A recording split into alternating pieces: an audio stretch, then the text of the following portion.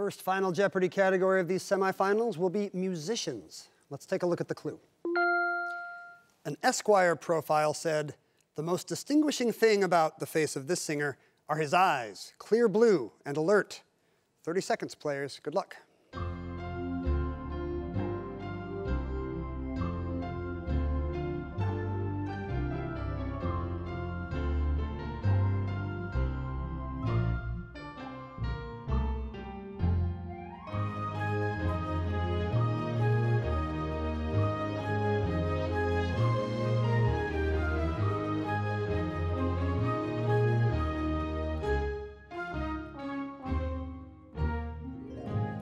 Kit Sikelski on the end had $1,200 going into final.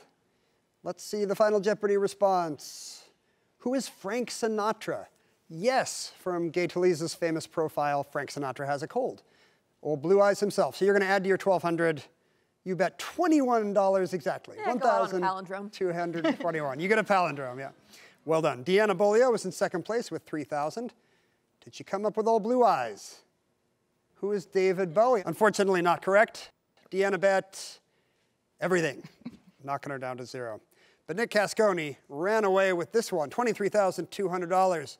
Did he know it was Sinatra? He's good at pasta, but not opera. Ooh, he misses Sinatra.